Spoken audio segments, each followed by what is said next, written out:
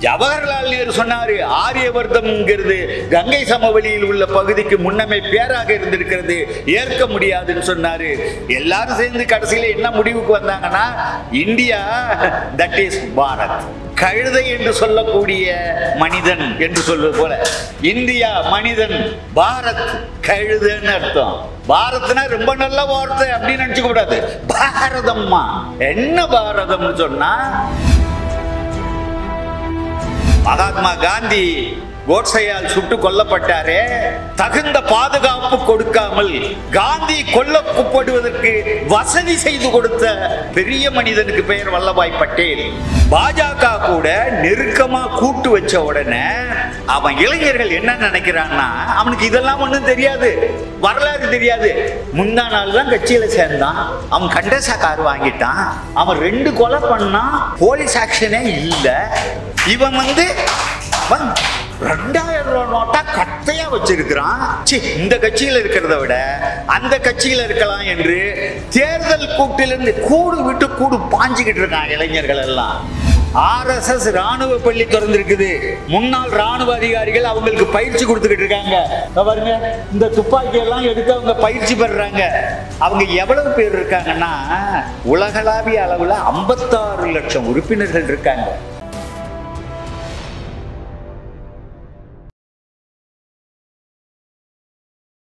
RSS தடை செய்யப்பட வேண்டும். ஏன் என்ற ஒரு கேள்வியை முன்வைத்து இந்த கருத்தரங்கம் நடைபெற்று கொண்டிருக்கிறது. இந்த கருத்தரங்கிற்கு தலைமையேற்று நடத்தி கொண்டிருக்கக்கூடிய தமிழக மக்கள் முன்னணியின் ஒருங்கிணைப்பாளர் தோழர் பொழிலன் அவர்களே மே பதினேழு அமைப்பின் ஒருங்கிணைப்பாளர் தோழர் திருமுருகன் காந்தி அவர்களே ஐயா வாலாசா வல்லவன் அவர்களே இந்த கருத்தரங்கை நெறிப்படுத்தி கொண்டிருக்கக்கூடிய தோழர் பாவேந்தன் அவர்களே ஐயா விடுதலை ராசேந்திரன் அவர்களே மற்றும் ஏனைய தோழர்களே உங்கள் அனைவருக்கும் என்னுடைய வணக்கத்தை முதற்கண் தெரிவித்துக் கொள்கிறேன். ஆர்எஸ்எஸ் தடை செய்யப்பட வேண்டும். ஆர்எஸ்எஸ்ஸை தடை செய் என்ற ஒரு கோரிக்கை இங்கே முன்வைக்கப்படுகிறது. தமிழக அரசோ அல்லது இந்திய அரசோ ஆர்எஸ்எஸ் அமைப்பை தடை செய்துவிட வேண்டும் என்ற நோக்கத்தில் இந்த கோரிக்கை இங்கே எழுப்பப்படவில்லை. ஒரு கட்டத்திலே ஆர்எஸ்எஸ் தடுத்து நிறுத்தப்பட வேண்டும். மக்கள் மனதிலே குறிப்பாக இளைஞர்கள் உள்ளத்திலே ஆர்எஸ்எஸ்ஐ அனுமதிக்காத ஏற்காத ஒரு மனநிலையை உருவாக்க வேண்டும். அதுதான் இந்த தலைப்பினுடைய நோக்கம். நாம் சில செய்திகளை சுருக்கமாக பார்க்க வேண்டும். நாம் எந்த இடத்துல நிற்கிறோம் என்று தெரிந்தால் தானே ஒரு திசையில் பயணிக்க முடியும். தமிழ் தேசிய இனமாகிய நாம் இன்னைக்கு ஒரு இடத்துல நின்றுகிட்டு இருக்கோம். தமிழ் மரபினமாக இருந்து பல்வேறு நூற்றாண்டுகளிலே இங்கு வந்த பிறமொழி மக்களையும் உள்வாங்கிக் கொண்டு இன்று நாம் ஓர் இனம் என்ற உளநிலையை பெற்று தமிழ் தேசிய இனமாக இன்று இங்கே நின்று கொண்டிருக்கிறோம். ஆனால் மிகப்பெரிய அபாயத்தை நாம் எதிர்நோக்கிறோம். கடந்த காலத்தில் ஒரு ஒரு இரண்டாயிரம் ஆண்டு கால வரலாறை லேசா அசை போட்டுக்கணும். இரண்டாயிரம் ஆண்டுகளுக்கு முன்னால் சங்க காலம் இருந்தபோது குறிஞ்சி முல்லை மருதம் நெய்தல் பாலை என்று அந்தந்த பகுதி மக்கள் அவர்கள் வாழ்வியல் என்று அது ஹரிசாண்டல் டிவிஷன்ஸ்னு சொல்லுவோம்.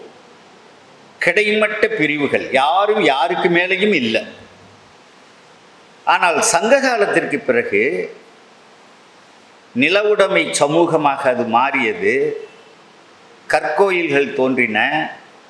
நிலம் உடைமையாக மாறிய பிறகு உழைப்பு சுரண்டல் தொடங்கியது. தொழிற்பிரிவுகளும் குலங்களும் சாதிகளாக மாற்றப்பட்டன. தெய்வீகத்தின் பேரால் தெய்வத்தின் பெயரால் உழைப்பு சுரண்டலை உறுதி செய்ய அந்த சாதி முறையானது வலுப்படுத்தப்பட்டது. ஒரு சாதிக்காரன் இன்னொரு சே- சாதியின் தொழிலை செய்வது தண்டனைக்குரிய குற்றமாக கால ஓட்டத்தில் மாற்றப்பட்டது. இதெல்லாம் நடந்து வ- நடந்திருக்கிறது. சங்க காலத்திற்கு பிறகு இதில் முக்கிய பங்கை பார்ப்பனர்கள் வகுத்தார்கள். வகித்திருக்க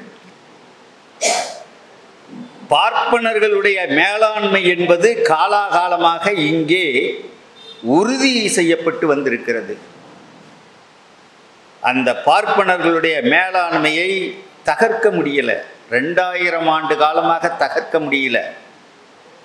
மன்னர்களும் நில உடைமையாளர்களும் பார்ப்பனியத்தை பாதுகாப்பதில் கூடுதல் அக்கறை செலுத்தி இருந்தார்கள். ஏனென்றால் அது அவர்களுக்கு சேவை செய்தது.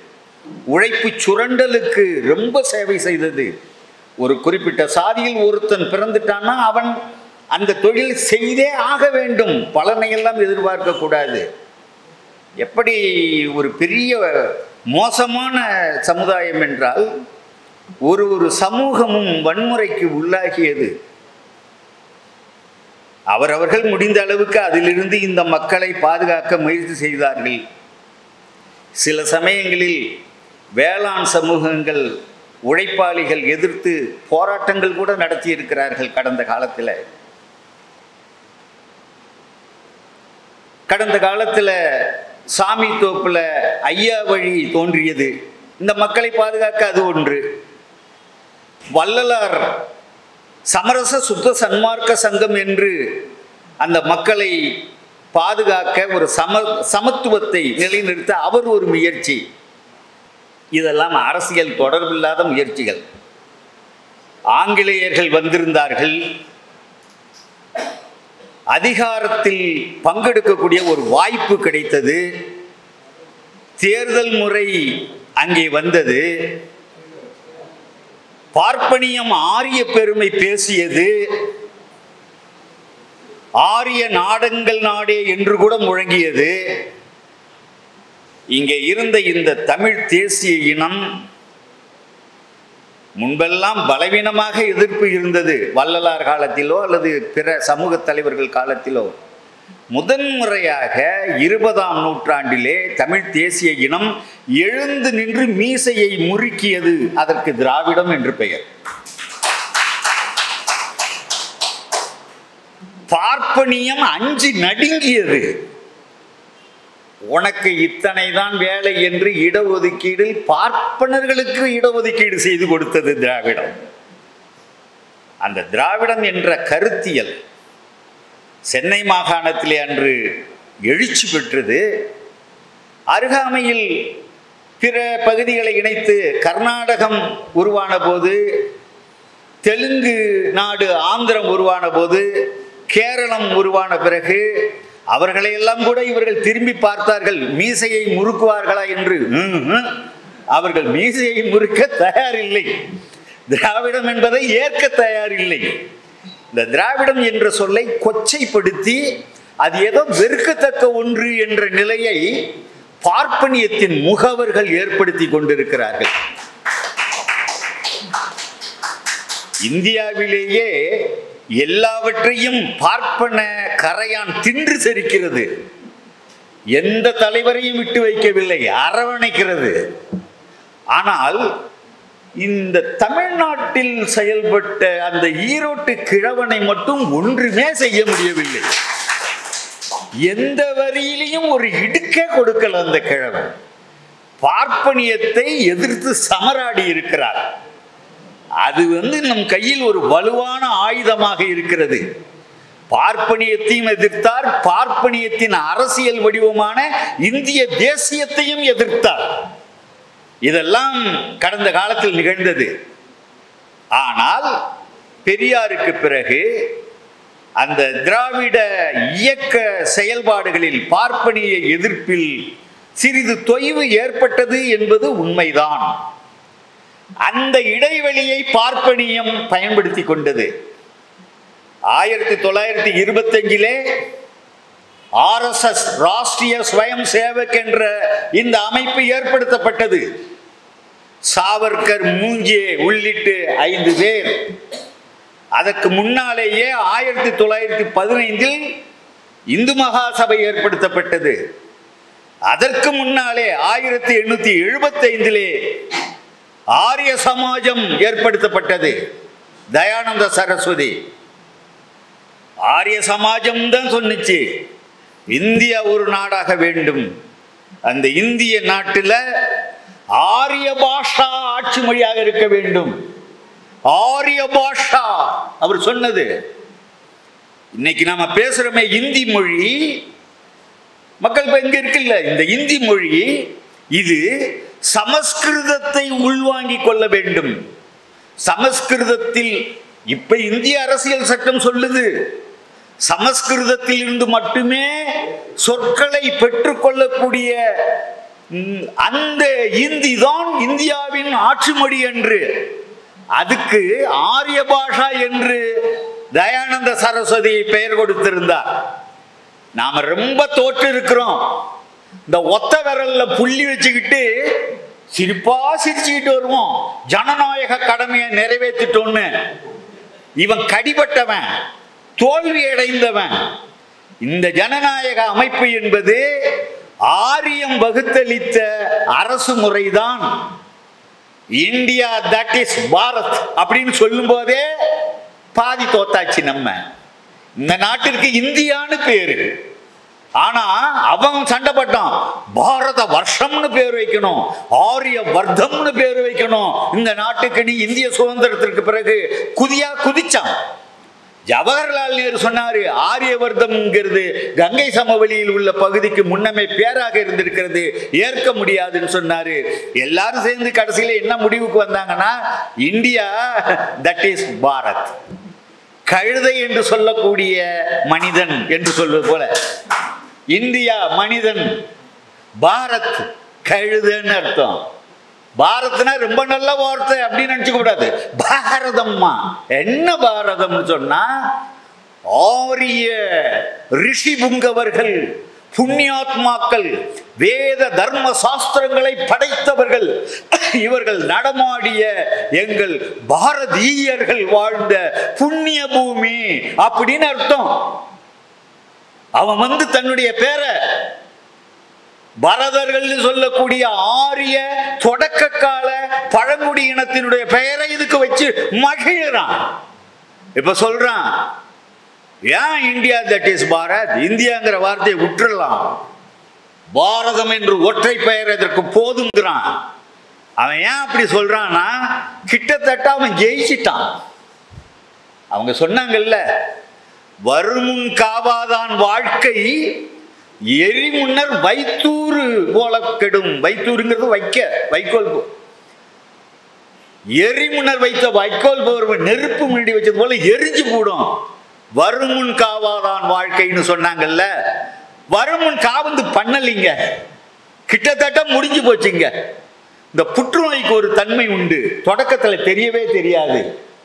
முத்தி போனவருக்கு தான் அவங்கள வந்து புற்றுநோய் பாதிப்புன்னு தெரியும். அதுக்கப்புறம் காவந்து பண்ண முடியாது. எல்லாரும் அவற்றபடியாக அந்த அன்பு செலுத்துவாங்க. ஏன்னா சீக்கிரம் சாவ போறவருங்கிறதுனால. அதுதான் நடக்குது. அதே போல இன்னைக்கு வந்து விட்டுட்டோம். கோட்டை விட்டாச்சு. இதை சரியா அடையாளம் கண்டு ஒற்றை மனிதனாக எழுந்து நின்ற அந்த கிழவனை நினைச்சு உண்மையிலேயே பெரு பெருமிதப்படுறோம். இன்னைக்கு விட்டதிலிருந்து நாம தொடர வேண்டி இருக்குது ஆர்எஸ்எஸ் என்பது ஆயிரத்தி தொள்ளாயிரத்தி இருபத்தஞ்சில் உருவாச்சுன்னு சொன்னா ஏன் உருவானதுங்கிறதுக்கு காரணம் இருக்கு. அவன் ஒரு விளக்கு ஒரு ஒரு அவனுக்கு ஒரு நோக்கம் இருக்கிறது. ஆயிரத்தி தொள்ளாயிரத்தி நாற்பத்தி ஏழுல வந்ததை சுதந்திரமா அவன் ஏற்கல. எல்லாரும் மூவர்ண கொடியை ஏத்தி இவன் இவன் மேலே ஏத்தி அப்படியே வணக்கம்லாம் செலுத்தும் போது ஆரிய கொடியை ஏத்துனான் கோட்ஸே நாதுராம் கோட்ஸே காந்தியார சுட்டு கொன்னவன். ஆரிய கொடியை அவர்கள் ஏற்றினார்கள். இந்தியாவினுடைய அரசியல் சட்டம் இருபத்தாறு நவம்பர் ஆயிரத்தி தொள்ளாயிரத்தி நாற்பத்தொம்போதுல முடிக்கப்பட்டது ஏற்கப்பட்டது. செயல்பாட்டுக்கு அது வருது ஆயிரத்தி தொள்ளாயிரத்தி ஐம்பது ஜனவரி இருபத்தாறு. அது நவம்பர் இருபத்தாறு ஏற்கப்பட்ட நாலு நாள் கழிச்சு முப்பதாம் தேதி ஆர்எஸ்எஸ் ஆர்கனைசர்ல அவங்களுடைய இதழில் தலையங்கம் எழுதினாங்க இந்த அரசியல் சட்டத்தை ஏற்க முடியாது என்று. ஜவஹர்லால் நேருவை முதல் ஜனாதிபதியாகவே ஏற்கலிங்க. இந்தி வெறியனும் பார்ப்பனிய வெறியனும் ஆகிய லால் பகதூர் சாஸ்திரி பிரதமர் ஆகும்போது அதை கொண்டாடினான் ஜவஹர்லால் நேரு பிரதமரானதை ஏற்கல. கபட வேடதாரி வல்லபாய் பட்டேல் பிரதமராக வந்துடுவாரா என்று ஏங்கினார்கள். வல்லபாய் பட்டேல். ஜவஹர்லால் நேருக்கு அடுத்த இடத்தில் இருந்தவர். மகாத்மா காந்தி கோட்சையால் சுட்டு கொல்லப்பட்டாரே. தகுந்த பாதுகாப்பு கொடுக்காமல் காந்தி கொல்லப்படுவதற்கு வசதி செய்து கொடுத்த பெரிய மனிதனுக்கு பெயர் வல்லபாய் பட்டேல். முறையாக வழக்கையும் அவர் நடத்தலை. வல்லபாய் பட்டேல் என்று ஒருவர் இல்லாமல் இருந்திருந்தால் காந்தியை கொன்றிருக்க முடியாது. அல்லது காந்தியை கொன்றவர்கள் ஏழாவது குற்றவாளியாக சாவர்கர் தப்பியிருக்க முடியாது. இவ்வளவு நிகழ்ந்தது. எவ்வளவு நாள் கழிச்சு மூவாயிரம் கோடியில் அதுக்கு செலவச்சு ஆர்எஸ்எஸ் காரன் செலவச்சு நன்றி செலுத்துறாங்கிறத நீங்க பார்க்கணும். இவனுக்கு ஒரு இலக்கு இருக்கிறது. அந்த இலக்கு பேர் இந்து ராஷ்டிரா. அந்த கற்பனையில் இருக்கிறான் அவன். எப்படி இருந்தது முன்ன? எப்படி இருந்ததுங்கிறான். எப்படி இருந்தது? பார்ப்பன நம்புதிரியா? ஏழு அடிக்கு நிகழாத அந்த ஜாதியெல்லாம் நிற்கும் நாயர்லாம். அதுக்கப்புறம் பன்னெண்டு அடிக்கு அந்தாண்ட முப்பத்தி ரெண்டு அடிக்கு அந்தாண்ட எழுபத்தி ரெண்டு அடிக்க அந்தாண்ட. அப்படியே நம்ம மேல் ஜாதி பார்ப்பனர்கள் வந்தா மேலாடையை எடுத்து விட்டுட்டு நிக்கணும். தலையை ஒடிஞ்ச பெண்கள் எல்லாம். மரியாதைன்னு பேரு அதுக்கு. அது மட்டுமல்ல எந்த வீட்டில் வேண்டுமானாலும் ஒரு நம்பூதிரி பார்ப்பான். பெண்டால முடியும் புகுந்து கணவன் வெளியில நிற்பான். இதெல்லாம் தெரிந்த கதை தான் நமக்கு. அந்த சாம்ராஜ்யத்தை இந்து சாம்ராஜ்யத்தை திரும்ப வி- நிறுவிவிட வேண்டும் என்கிறான். அவர் சுப்பிரமணிய சாமி சொன்னார்ல கவலைப்படாதீங்கோ. இன்னும் கொஞ்ச நாள் தான் ஆயிரம் வருஷத்துக்கு முன்னாடி இருந்த நிலைமைய சீக்கிரம் கொண்டு வந்துடுவோம்னு ஒரு கூட்டத்தில் பேசுறாரு சுப்பிரமணிய சாமி. எந்த நம்பிக்கையில் அவர்கள் பேசுகிறார்கள்? அவர்கள் வென்று விட்டார்கள். இன்னைக்கு எல்லா இடத்துலையும் அவங்க தான் இருக்கிறாங்க. இந்த அமைப்பு ஆர்எஸ்எஸ் அமைப்பு இந்து ராஷ்டிரம் இந்து ராஷ்டிரம்னா ஏதோ இந்துக்களுக்கான ராஷ்டிரம்னு நம்ம குப்புசாமி கோவிந்தசாமி சொக்கலிங்கம் அறவைக்காடு பூரா குசியா இருப்பான். முன்னாடி அவன் தெரிஞ்சுக்கணும். இந்துனா உன் ராஷ்டிரம் இல்ல. மகாத்மா காந்தின்னு ஒருத்தர் இருந்தாரு. அவர் ஒரு இந்து நல்ல இந்து நல்ல இந்து. கையில வெட்டர்வா தூக்கிக்கிட்டு அலையாத இந்து. குச்சி வச்சுக்கிட்டு ஊனிக்கிட்டு தான் நடந்தாரு. கூடுமான வரைக்கும் சரியாக இருந்தார். விமர்சனங்கள் இருக்கு அது வேற. அவர் ஒரு இந்து. நாதுராம் கோட்ஸே ஒரு இந்து. நாதுராம் கோட்ஸே ஒரு இந்து. இந்துத்துவம் பேசிய இந்து. இந்து ராஷ்டிர இலக்கு கொண்டிருந்த இந்து. காந்தி ஒரு இந்து. ஆனால் காந்தி என்ற இந்துக்கு இந்து ராஷ்டிரத்தில் வாழும் தகுதி கிடையாது. அவர்கள் அனுமதிக்கவில்லை அனுமதிக்க மாட்டார்கள். ஆங்கிலேயர்கள் போற்றி பாதுகாத்த அந்த கிழவனுடைய உயிரை விடுதலை கிடைத்த குறைந்த ஓராண்டு கூட நிறையல உயிரை பறித்தார்களா இல்லையா? காந்தியாருடைய உயிரை பறித்தவுடன் அன்றைக்கே கூடி அந்த அமைப்பு ஆர்எஸ்எஸ் அமைப்பு தடை செய்யப்பட்டது. ஆறு மாதத்தில் தடை நீக்கப்பட்டது. எப்படி? இன்றைக்கும் சொல்றேன். எல்லாரும் தெரிஞ்சுக்கோங்க.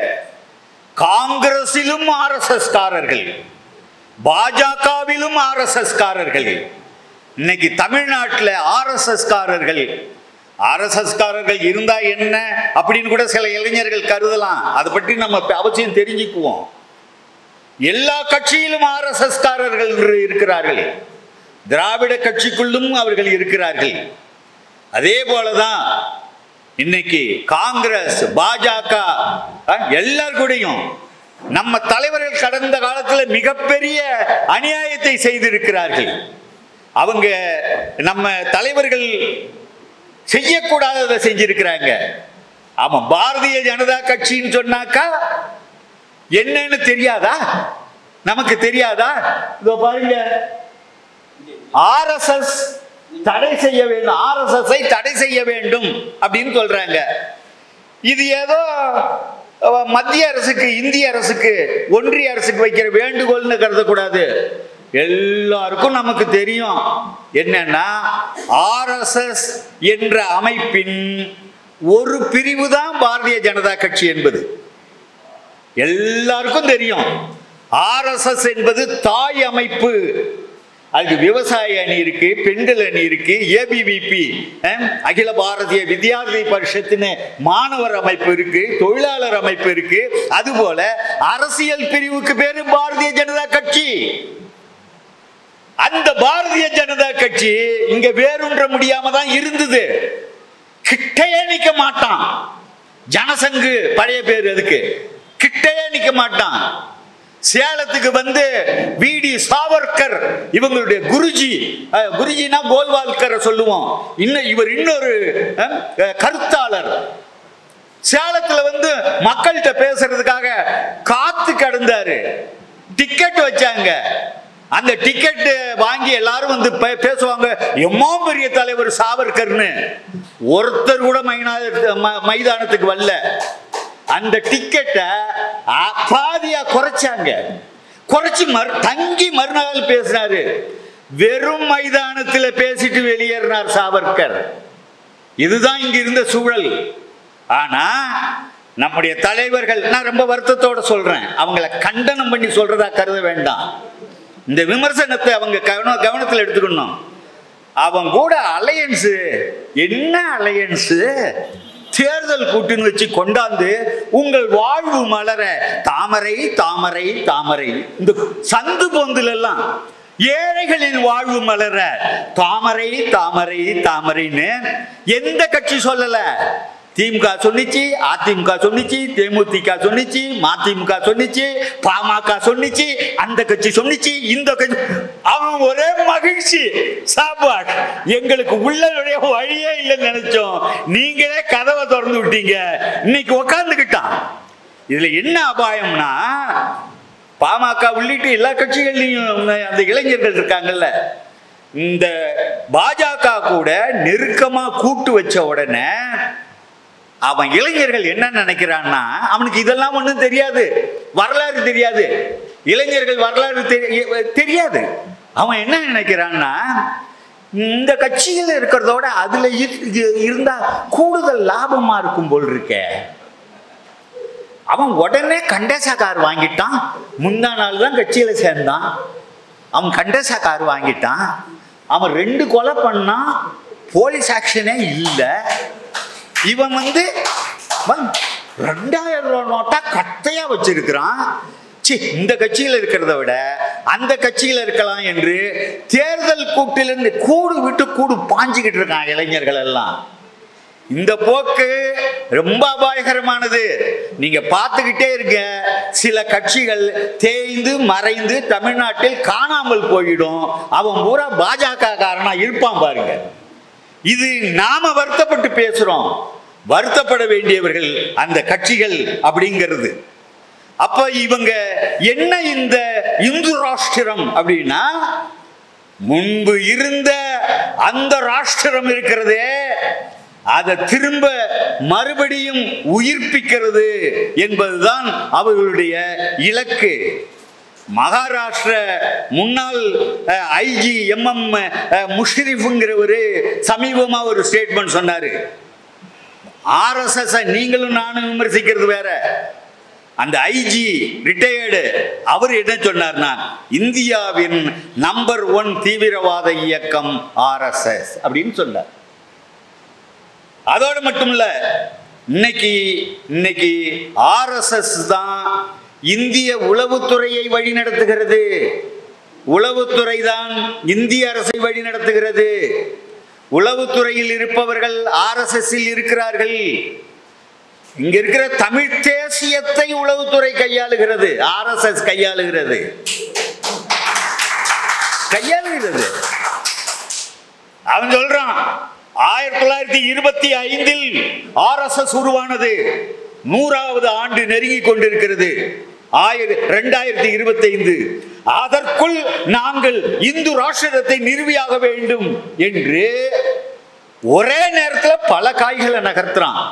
இந்த நாளன்னைக்கு கல்யாணம்னு சொன்னா கட்டி மேளத்துக்கு சொல்றது பந்தக்கால் நடுறது பொது போடுறது சாப்பாட்டுக்கு சொல்றது நாயனம் வாசிக்கிறதுக்கு மேல கச்சேரிக்கு சொல்றது அது சொல்றது இது சொல்றது. சொந்தக்காரனுக்கு ஃபோன் பண்ணி ரெண்டு பேரை விட்டு இந்த இந்த அட்ரஸுக்கெல்லாம் ஃபோன் பண்ணி எல்லாருக்கும் சொல்லு ஒரே நேரத்தில் காய்களை நகர்த்துவது போல ஆர்எஸ்எஸ் காய்களை நகர்த்தி கொண்டிருக்கிறது இப்ப. இந்துன்னு ஏத்துக்கோ இஸ்லாமியர்கள்ட்ட. முடியாதுங்கிறான். அடிப்பேன் கொண்டுடுவேங்கிறான் இந்து என்ற சொல்லை அதுக்கப்புறம் நீ என்ன வேணாலும் வச்சுக்கோ. இந்து என்ற சொல்லை ஏற்றுக்கொள். அந்த அடையாளத்துக்குள்ளார வாங்குறான். இந்து என்ற சொல்லை ஏற்பதும் அந்த அடையாளத்துக்குள் கொண்டு வருவதும் ஆர்எஸ்எஸ்ஸின் மறைமுக ஆதரவு என்பதை தெரிந்து கொள்ளணும் நீங்க. அந்த சொல்லை ஏற்க முடியாது. இந்து என்பதை ஏற்க முடியாது இல்ல அது இழிவு. இந்தி என்ற சொல் ஒரு இழிவான சொல் அது. அது வந்து எப்படின்னு கேட்டா முதல்லயே இந்த வைண சவ இந்த சைவ வைணவ பிற சமயங்கள் எல்லாத்துலேயுமே வர்ணாசிரமம் இருந்தது தானே. வர்ணாசிரமம் என்ற அந்த சமூக கட்டமைப்பு பிராமண சத்திரிய வைசிய சூத்திர அப்புறம் பஞ்சம. தென்னிந்தியாவை பொறுத்த வரைக்கும் பிராமண அதுக்கப்புறம் சூத்திர பஞ்சம. இதுதான். இங்க யார் வந்து கர்ஜனை செஞ்சாலும் சரி சூத்திரம் தான் என் உள்பட. எல்லாம் சூத்திரர்கள் தான். இது ஹிந்துலா அப்படின்னு சொல்லி இருக்குல்ல. ஹிந்துலாவுடைய பேச பத்தி எடுத்து பார்க்கும்போது தர்மசாஸ்திரங்கள் சொல்லி இருக்கு போக்குவரத்து வருது தானே. இந்து என்பது பிரச்சனை இல்லாத சொல். அது வந்து சமய சார்பற்ற சொல். அதுல ஆபத்து இல்லை என்பது இது ரொம்ப அநியாயங்க அந்த மாதிரிலாம் சொல்றது. இந்த பாருங்க அது நல்ல பாம்பு. முன்ன நல்ல பாம்பு தானே? பொத்து பொந்துக்குள்ள கையை விடுறதுல என்ன உங்களுக்கு ஆட்சேபனை அது அது நல்ல பாம்பு? ஆனா நச்சு பாம்பு. பேர் தான் நல்ல பாம்பு. அந்த சொல் இந்து என்பதை ஏற்றாலே இந்து ராஷ்டிரக்காரனுக்கு நாம உடந்தையா இருக்கிறோம்னு அர்த்தம். ஏற்க முடியாதுங்கிறேன். அது இழிவுன்னு நாங்க சொல்றோம். இழிவுன்னு சொன்னதுக்கு அப்புறமா தமிழ் இந்து என்று பேர் கொடுப்பது அநியாயம் இல்ல. இல்ல நான் சொல்றது விமர்சனம் இல்ல. ஆதங்கம். இது ஆதங்கம். என்ன செய்யறது? பன்றி என்பது இழிவானது. அது நாங்க ஏற்க முடியாதுன்னு நான் சொல்றேன். இல்ல நாம வெள்ளை பண்ணி அது கருப்பு பண்ணி அது ஒன்றும் பிரச்சனை இல்லை என்றால் என்னங்க ஐயா அர்த்தம்? ஏற்க முடியாது. அந்த சொல்லு நமக்கு வேண்டாங்கிற. ஏற்க முடியாது. அப்ப இன்னைக்கு இன்னைக்கு ஆர்எஸ்எஸ் மூன்று முறை தடை செஞ்சிருக்காங்க. காந்தி செத்தப்ப தடை செஞ்சாங்க. அவசர நிலை பிரகடனம் இந்திரா காந்தி காலத்துல ஆயிரத்தி தொள்ளாயிரத்தி எழுபத்தஞ்சு எழுபது எழுபத்தாறுல தடை செஞ்சாங்க. பாபர் மசூதியை இடிச்சான். பாபர் மசூதியை இடித்தவர்கள் ஆர்எஸ்எஸ் காரர்கள் சங் பரிவார கும்பல் தானே? எல்லாரும் அவங்களை தண்டிப்பாங்கன்னு நினைச்சாங்க. மீதி இருந்த முப்பத்தி ரெண்டு பேரும் குற்றம் அற்றவர்கள்னு சொல்லி ஆர்எஸ்எஸ் சார்புத்தன்மையோடு தீர்ப்பை வழங்கியது உச்ச நீதிமன்றம். அப்ப ஆயிரத்தி தொள்ளாயிரத்தி தொண்ணூத்தி ரெண்டுல தடை செஞ்சாங்க. தடை செய்வாங்க உற்றுவாங்க. ஏனென்றால் குற்றம் செய்பவன் நீ. தண்டனை வழங்க வேண்டிய நீதி வழங்க வேண்டியவன் நான். ஆனால் நாம் இருவதும் அருமை சகோதரர்களே நாமெல்லாம் ஆர்எஸ்எஸ் சங் உறுப்பினர்கள். சங் மை சோல் வாஜ்பாய் வார்த்தை. எல்லாமும் இவர்களே. எல்லாமும் இவர்களே. இந்தியாவில் ஆர்எஸ்எஸ்க்கு அறுபதாயிரம் கிளைகள் இருக்கின்றன. எந்த கம்பெனிக்கும் இவ்வளவு கிளை கிடையாது. எந்த கட்சிக்கும் இவ்வளவு கிளைகள் கிடையாது. தமிழகத்துல தாலுகா வாரியா ஆயிரத்தி எழுநூத்தி எண்பத்தெட்டு நிலைகள் இருக்கின்றன. அவன் எவ்வளவு கெட்டவன் அவன் நாசகார திட்டம் என்னங்கிறத கிட்டத்தட்ட எல்லாரும் சொல்லிட்டாங்க. கூடுதல் செய்திகளை மட்டும் நான் பதிவு செய்கிறேன். தொண்டர்படை அப்படின்னு அமைக்கிறான். அப்படியே ஓ- ஆகிட்டதுன்னு வச்சுக்கோங்க. அங்கேருந்து கொஞ்சோண்டு அரிசி அது இது எடுத்துக்கிட்டு வருவான் மக்கள்கிட்ட.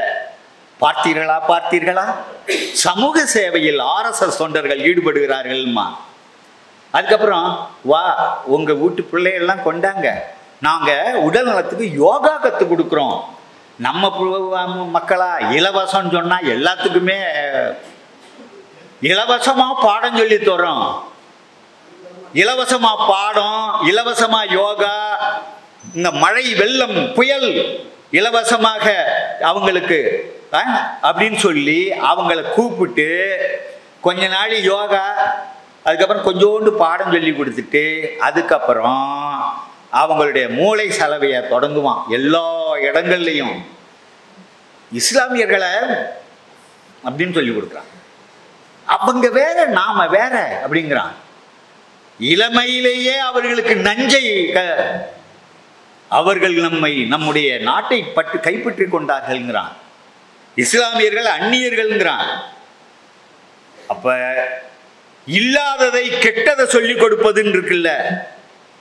சமூக நீதிக்கு எதிரானவர்கள். ஆண்டாண்டு காலமா மாட மேய்ச்சோம். ஆண்டாண்டு காலமா கீழ்நிலை வேலைகளை செஞ்சோம். சாலையில் நடக்க அனுமதி இல்லாமல் இருந்தோம். இடுப்புக்கு மேலே நம் குடும்பத்து பெண்கள் சேலை அணிய துணியால் மறைக்க அனுமதி மறுக்கப்பட்டோம். மீசைக்கு வரி மார்பகங்களுக்கு வரி மரத்தில் ஏறுகிறவனுக்கு இந்த தலைக்கயிறு அதற்கு வரி செக்காடினால் செக்குக்கு வரி ஒவ்வொன்றுக்கு வரி என்று சாறு பிழியப்பட்டோம். இப்படியெல்லாம் இருக்கக்கூடிய நமக்கு இப்ப ஒரு சில வாய்ப்புகள் கிடைத்திருக்கிறதே என்று இவன் கருதுற அதே நேரம் நீ வந்து இனிமேலுக்கு டாக்டர் ஆயிடுவ நீட் தேர்வு உடனே நடத்து என்று அவசர வழக்கு கொண்டு போனவன் சங்கல் சேரிட்டபிள் ட்ரஸ்ட்ங்கிற ஆர்எஸ்எஸ் அமைப்பு.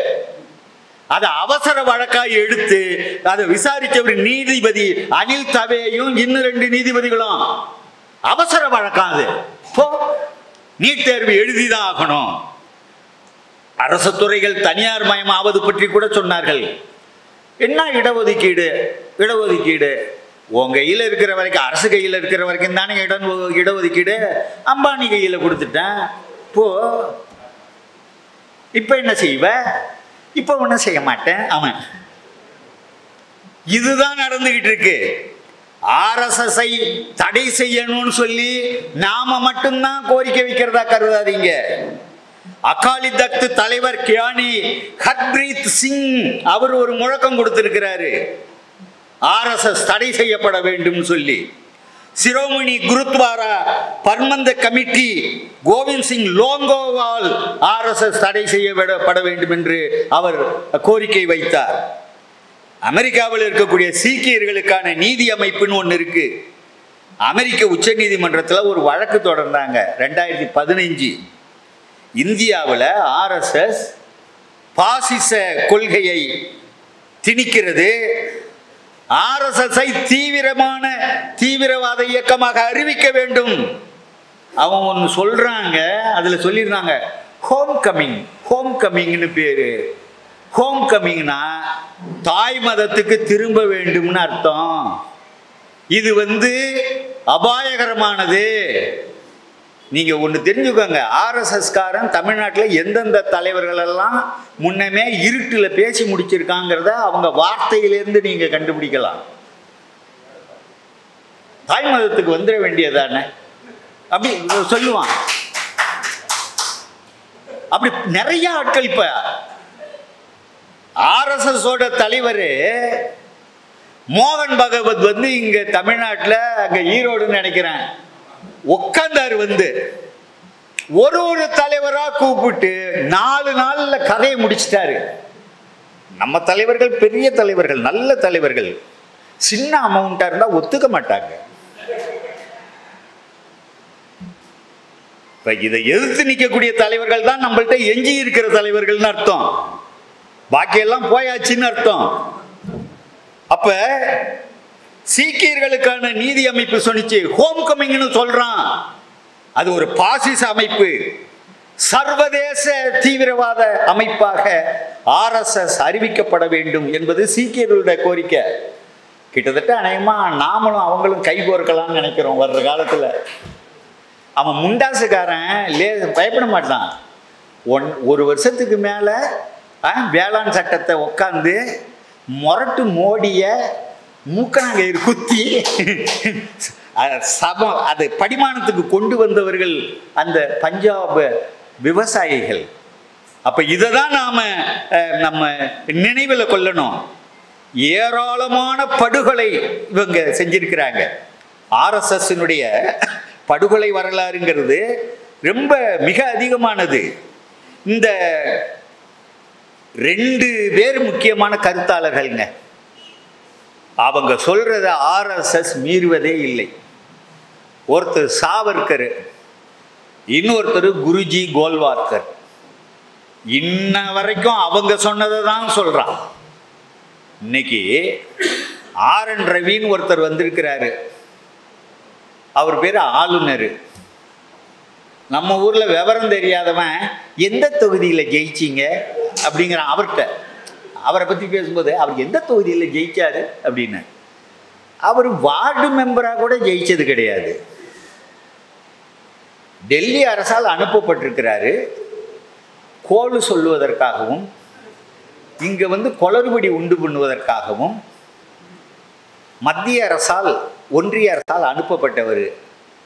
அவர் இன்னைக்கு சொல்கிறார் பாருங்க அவன் ஒரு திட்டம் வச்சிருக்கான். இந்திய இந்திய அரசியல் சட்டத்தை ஏற்றுக்காதவன் ஆர்எஸ்எஸ் பாஜக இந்திய அரசியல் சட்டத்தை ஏற்காதது. இல்ல தேர்தல் நின்று இருக்காங்களே எப்படி அப்புறம் நீங்க இப்படி சொல்றீங்கன்னா அம்மா களவாட வந்தவன் அழகு குத்தி உடம்பெல்லாம் பட்டை போட்டு வருவான்ல. அவன் வந்திருக்கான். இந்திய அரசியல் சட்டப்படியே அதிகாரத்தை கைப்பற்றி இந்திய அரசியல் சட்டத்தை செயல்படாததாக மாற்றுவது. ஐநூத்தி நாற்பத்தி மூணு பேர் இருக்கக்கூடிய நாடாளுமன்றத்தில் முன்னூத்தி மூணு பேர் இன்னைக்கு. ஆ, இன்னைக்கு பாஜக. ஒருத்தரையும் கேட்க வேணாம். ஜனநாயக ரீதியாகவே நாங்கள் சர்வாதிகாரத்தை கொண்டு வருவோம். தடுத்துருவீங்களா? தடுத்துருவீங்களா? தமிழ்நாட்டிலேருந்து உங்கள் உங்க முப்பத்தொன்பது பேரும் பாண்டிச்சேரியிலேருந்து ஒருத்தரும் நாற்பது பேர் இங்கேருந்து இருந்து ஓ ஊ, என்ன நினைச்சுக்கிட்டீங்க? வன்மையா கண்டிக்கிறோம். வா ஊ, வெளிநடப்பு. போ. அவ்வளவுதான். அதுக்கு மேல எல்லாம் ஒண்ணும் பண்ண முடியாது. முன்னூத்தி மூணு பேர் வச்சிருக்கிறான். இனிமேல் இந்தியாவில் தேர்தல் இல்லை என்று ஜனநாயக ரீதியாக இந்த நாடாளுமன்றம் தீர்மானிக்கிறதுன்னு முடிவெடுத்தான்னா தடுக்கும் சக்தி உங்களுக்கும் எனக்கும் கிடையாது. இந்த முன்னூத்தி மூணு பேர்ல இப்போ வேற மாநிலங்கள் பல மாநிலங்கள் இருப்பானே நினைக்க கூடாது. எத்தனை மாநிலத்திலிருந்து வந்தாலும் சரி அவன் ஆர்எஸ்எஸ் காரன் நீ தம்ப இந்த தமிழ்நாடு உள்ளிட்டு பதினேழு மாநிலங்கள்ல ஆர்எஸ்எஸ் காரரே கவர்னரா இருக்கிறாரு. நம்ம ரொம்ப நல்லா இருக்கிறதெல்லாம் நினைச்சுக்கிட்டு இருக்க கூடாது நல்லாலாம் நம்ம இல்லை. இந்தியா எப்பயோ இந்த சீட்டாட்டத்தில் ஒன்று ஒன்றா இழந்துக்கிட்டு போ வருவான் இல்லைங்க அது மாதிரி நம்ம தலைவர்கள் அரசியல் விளையாட்டில் எல்லா உரிமைகளையும் இழந்திருக்கிறார்கள். இதை எப்படி மீட்பதுங்கிறது தான் அவன் வந்து முன்னூத்தி மூணு பேர் இன்னைக்கு ஸ்ட்ரென்த்தை வச்சுக்கிட்டு நாடாளுமன்றத்தில் அந்த அசுர பலத்தை வச்சுக்கிட்டு எதை வேண்டுமானாலும் செய்யலாம். அவனுக்கு ஒரு குறிக்கோள் இருக்கு. இந்து ராஷ்டிரம் எப்படி இருக்கணும்னு? அது என்ன தமிழ்நாடா? ஆ, ஆமாங்க தமிழ்நாடு. மோசமான பயில்வை நம்ம தான் மோசமான பயில்வை. அந்த கிழமை உயிரோடு இருந்தப்ப பூணுல இருக்கிற வரைக்கும் போனானுவன் அதனால மோசமான பயில்வைன்னு வச்சுக்கோங்க. தமிழ்நாடு தானே? ஒரு மொழிக்கு ஒரு நாடு தமிழ்நாடு. மாநிலம்தான் இருந்தாலும் பேரை பாரு. தமிழ் நாடு அப்படின்னு வச்சுருக்கான் இதை மூணாக பிரிச்சு பிள்ளாமே அவன் மூணா பிரிச்சுலாம் நினச்சிட்டுனா கோரிக்கை தமிழ்நாட்டுக்காரன்ட்டேருந்து வருவான் அவன் சொல்ல மாட்டான். தமிழ்நாட்டிலேருந்து தமிழ்நாட்டை மூன்றாக பிரிக்க வேண்டும் என்று நாங்கள் கோருகிறோம் இவன். ஏன்டா கோர்ற? சுயநலம் அடங்கி இருக்கிறது அதில். அப்போ தமிழ்நாட்டை மூணாக பிரிக்கிறது. ஐநூற்றி நாற்பத்தி மூணு எம்பிக்கள் என்ன? எண்ணூற்றி எண்ணூற்றி எண்பத்தி நாலு பேர் உட்கார்ற மாதிரி பெரிய நாடாளுமன்றம். சீட்டு போட்டுட்டான். எண்ணூற்றி எண்பத்தி நாலு சீட்டுக்கு குறையாம போட்டிருக்கான். ஆமாம் ஏன்?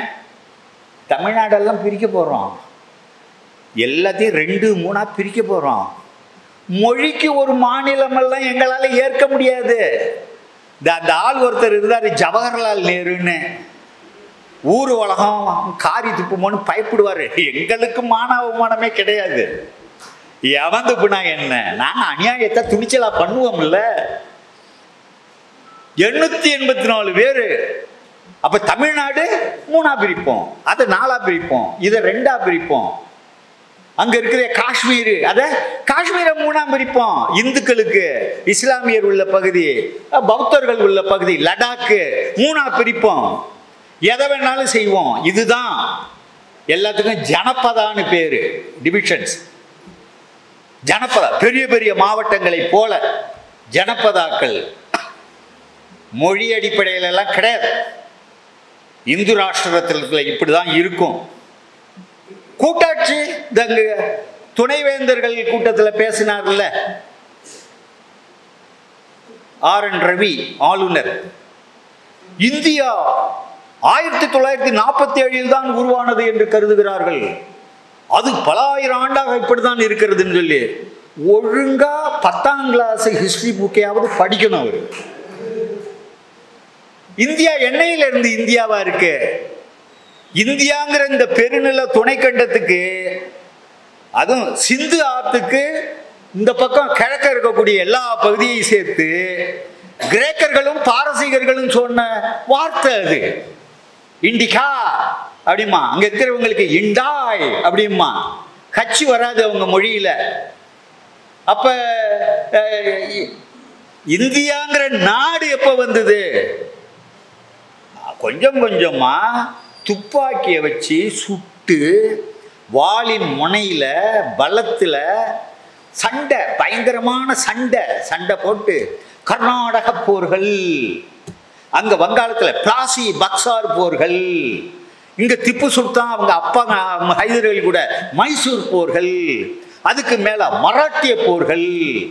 அதுக்கு அங்க மேல பஞ்சாப்ல போர்கள் போர்கள் போர்கள் போர்கள். போர்களா போட்டு வலுக்கட்டாயமா இந்திய துணைக்கண்டத்தை இணைச்சி இந்தியான்னு பேர் கொடுத்தவன் யாரு? ஆங்கிலேயர்கள் தானே. இந்து மதத்தை உருவாக்கணும்னு ஆங்கிலேயர்கள் தான் ரொம்ப பேர் சங்கராச்சாரியார் பழைய நினச்சிக்கிட்டு நினைச்சுக்கிட்டு இருக்கான். இந்து மதம்னு பேர் கொடுத்தவனும் அவன் தான் இந்தியான்னு பேர் கொடுத்தவனும் அவன் தான் அப்ப இந்திய இந்தியாவை ஆங்கிலேயர்கள் வாளின் வலிமையால் உருவாக்கினார்கள்.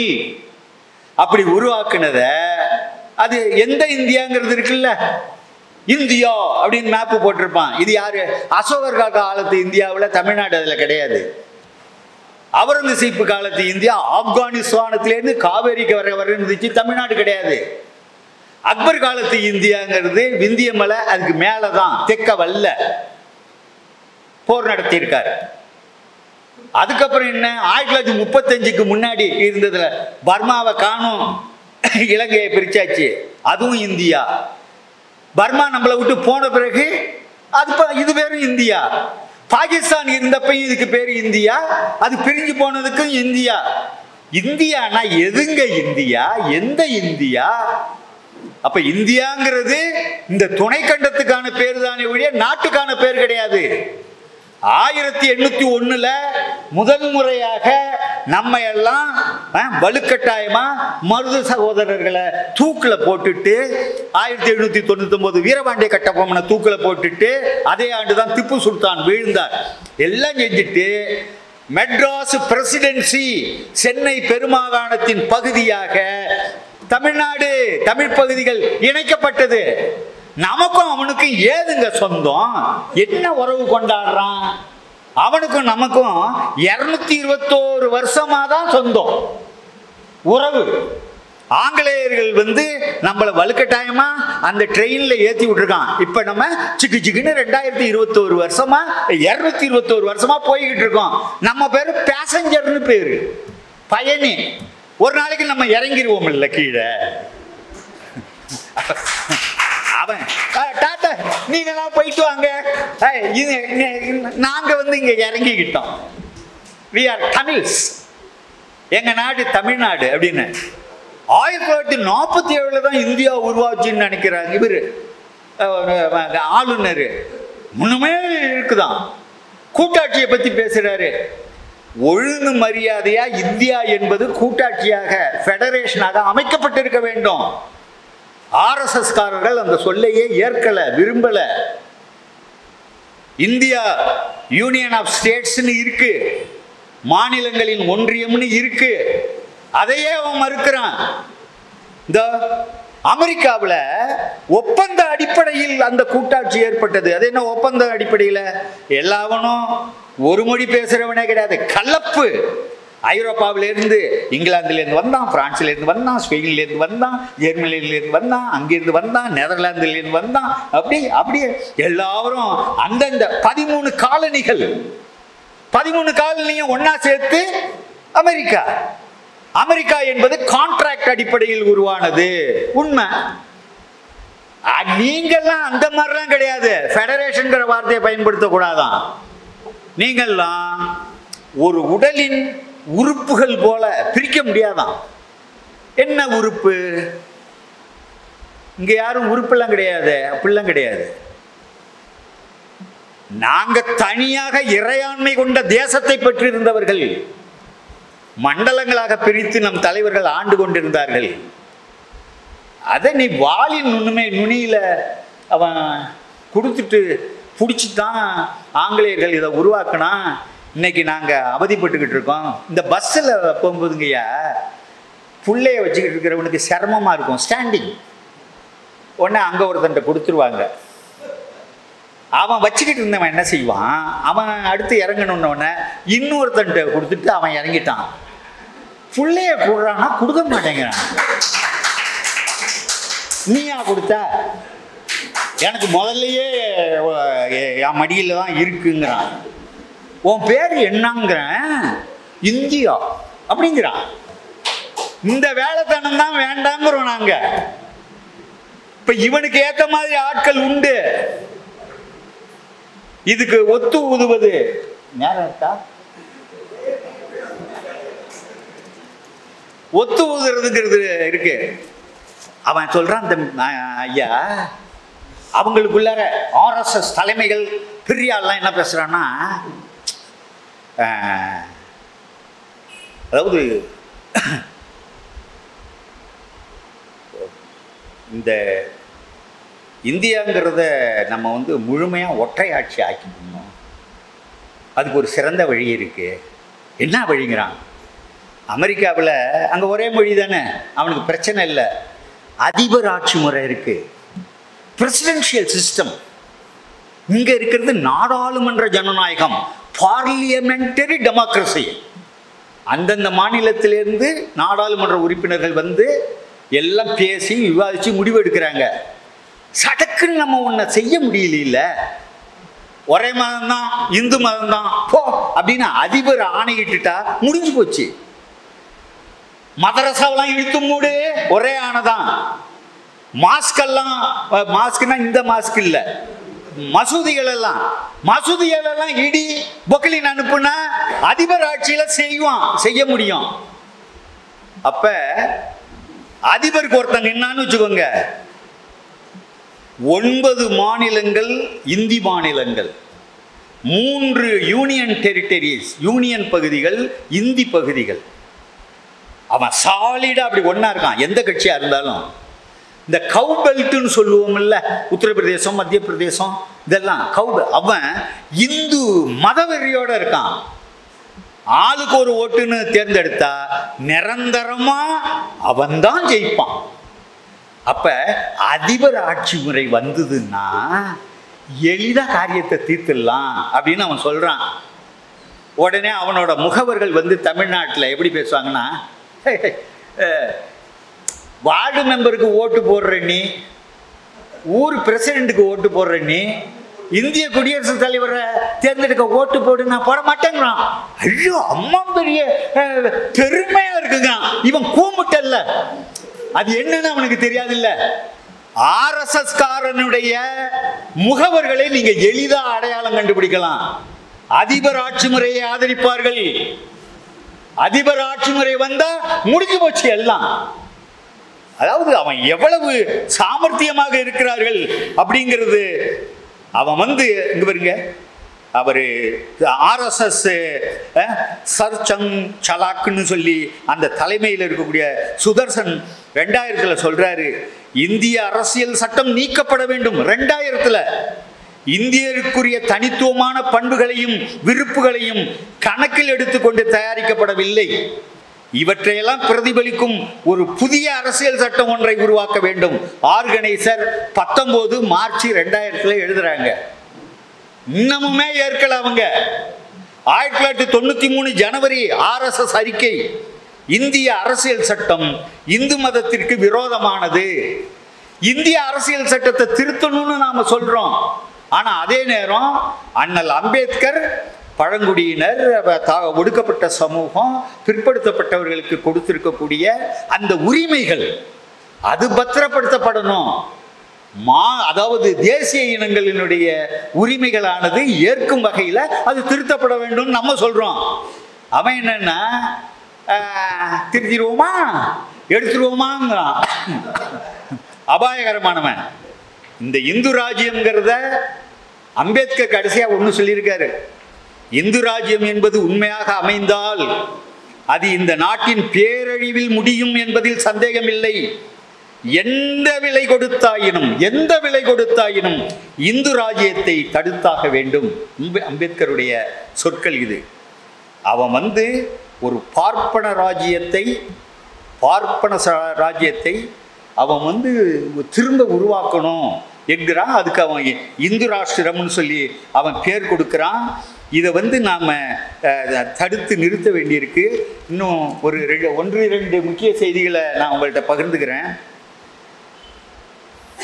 அவனுக்கு வழிகாட்டுறவங்க சாவர்கர் எழுத்துகளும் குருஜி கோல்வால்கர் எழுத்துகளும் தான் இன்ன வரைக்கும்.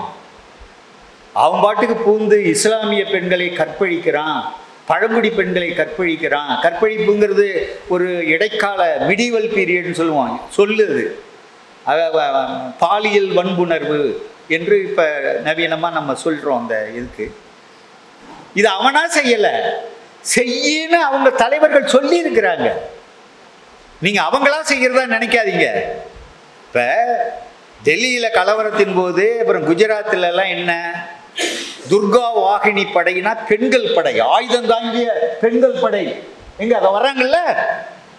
இவங்க ஆம்பளைங்களை கொத்து கொத்த ஆர்எஸ்எஸ் காரர்களை சங் பரிவார அமைப்புகளை கூட்டு போய் இந்த தெருவில் இருக்க மொத்த பெண்ணையும் கற்பழி என்று கற்பழிப்புகளை நடத்தியவர்கள் இந்த பெண்கள். நீங்க சாதாரணமா நினைக்காதீங்க. அதுல ஐயோ பெண்களாச்சே அப்படின்னு இந்த பெண் மனம் பதறும் நினைக்காதீங்க. அது ஆர்எஸ்எஸ் மனம். அது அவர்கள் கடமையா? அந்த அளவுக்கு உள்ளவங்க. அதாவது குருஜி என்று சொல்லப்படுகிற கோல்வால்கர் எழுதுகிறார் இந்து ராஷ்டிரம் என்பது படைப்பது சம்பந்தமா? ஹிட்லரை ஹிட்லர் ஹிட்லர் அவங்களுக்கு முசோலினி ஹிட்லர் தானே அவங்களுக்கு கதாநாயகர்கள். ஹிட்லர் படத்தை இங்க யாராவது வந்து ஆர்எஸ்எஸ் ஆளுன்னு கண்டுபிடிச்சிக்கலாம் நீங்க. ஹிட்லர் படத்தை அப்படியே வந்து புகழ்ந்து பேசினாலோ அந்த படத்துக்கு வணக்கம் செலுத்தினாலோ அவர்கள் ஆர்எஸ்எஸ் ஆட்கள் அவங்க குரல்ல சாவர்கர் ஒளிந்திருக்கிறார் என்ற அர்த்தம். அவர் சொல்றாரு நாசி நாசினாக்கா ஹிட்லருடைய நேஷனல் பார்ட்டி அது. நாசி பார்ட்டி அதுவும் பாசிச கட்சி தான். Nazi party purging of the country of the Semitic races. The Jews, a good lesson for us. In Hindustan to learn and profit by அந்த யூதர்களை இனத்தையே அழிச்சார்ல? அது ஒரு நல்ல பாடம். அதில் நமக்கு நன்மை இருக்கு என்று அவர் சொல்றார். ஆனால் அது சரிப்பட்டு வராது இங்கேங்கிறதுனால அவர்களை செகண்ட் கிளாஸ் சிட்டிசன்ஸ் ஆக்கிறது. யார? இஸ்லாமியர்களை கிறித்தவர்களை அவங்க இந்துத்துவம் ஏற்காத எவரையும் இரண்டாவது வகுப்பாக மாற்றுவது. The foreign races in Hindustan must either learn to respect and hold in reverence Hindu religion Hindu ரிலிஜனை மதிக்க கற்றுக்கணும் and must merge in the Hindu race Hindu இனத்துக்குள் சேர்ந்து விட வேண்டும். அதாவது சொந்த மதத்தை கைவிடணும்னு அர்த்தம் அதுக்கு. Or may stay in the country அல்லது இந்த நாட்டில் எஞ்சி இருக்கலாம்? Wholly subordinated to the Hindu nation இந்த இந்து தேசத்துக்கு நீ கீழ்ப்படிந்து சபார்டினேட்டடா கீழ்ப்படிந்து வேண்டுமானால் வாழலாம். கிளைமிங் நத்திங் எதுவும் கோரக்கூடாது. எந்த உரிமையும். டிசர்விங் நோ ப்ரிவிலேஜஸ் எந்த சலுகையும் கிடையாது. Far less any preferential treatment எந்த ஒரு ப்ரிஃபரன்ஸ் ட்ரீட்மெண்ட்டும் உனக்கு கிடையாது. நாட் ஈவன் சிட்டிசன்ஸ் ரைட்ஸ் குடியுரிமையும் உனக்கு கிடையாது. அதுக்காக தான் அவங்க சிஏஏ கொண்டு வந்தது. சிஏஏ என்ஆர்சி கொண்டு வந்து இவனே கையில் ஒன்றும் இல்லாமல் இருப்பான். கையில் பேப்பரே இருக்காது. ரேஷன் கார்டையே நாலு துண்டாக எடுத்துகிட்டு வருவான் கடைக்கு. வீட்டில் தேடி பார்த்தங்க ரெண்டு பழைய பஸ் டிக்கெட்டு தாங்க கிடைச்சிச்சுங்கிறான்.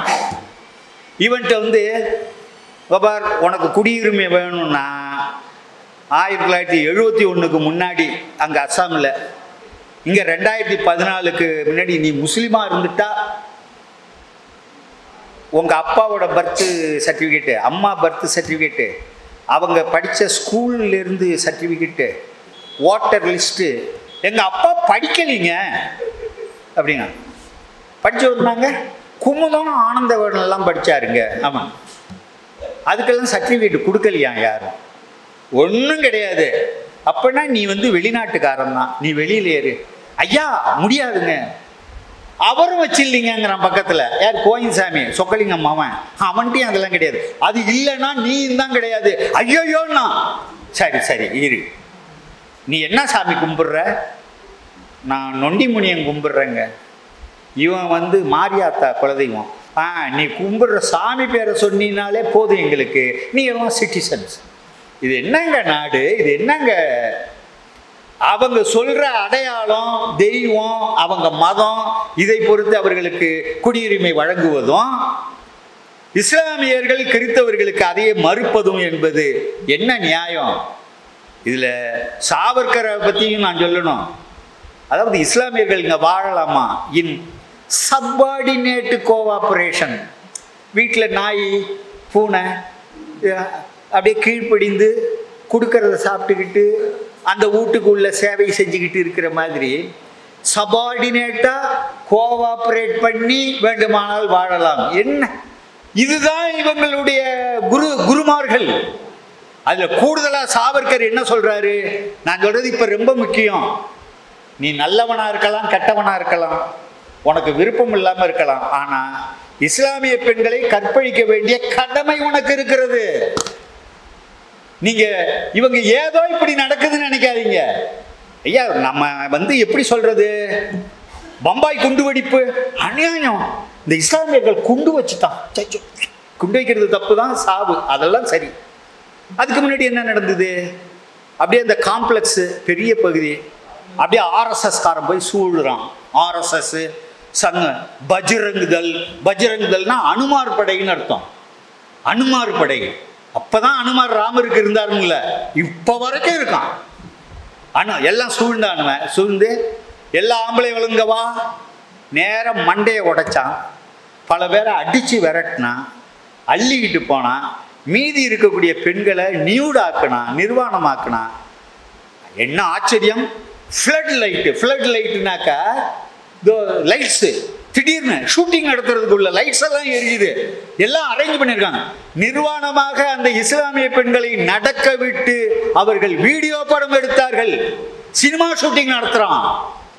அதுல கொதிச்சு போன இளைஞர்கள் தான் குண்டு வச்சது. நம்ம எப்பயுமே எதிர்வினையை தான் பார்ப்போம். அவன் என்ன பண்ணான்னு சொல்லி பார்க்கறது இல்லை. இதெல்லாம் நடந்தது. இப்படிதான் கோவை குண்டு வெடிப்பா இருந்தாலும் என்ன? செல்வராஜ் அவர் ஆர்எஸ்எஸ் சார்புள்ள ஒரு போலீஸ்காரர் டிராபிக் கான்ஸ்டபிள் ரெண்டு பையன் வர்றான் இஸ்லாமிய பையன். இஸ்லாமியர்கள் தெரிஞ்ச உடனே அவனை கூப்பிட்டு உரசுறது கண்ணாமண்ணன் திட்டுறது முரட்டுத்தனமா அவன் எதிர்த்துக்கிட்டான் உடனே அடிக்கிறாரு. அவனு திருப்பி அடிக்கிறாங்க செத்துட்டான். இவர் கான்ஸ்டபிள் செத்துட்டாரு.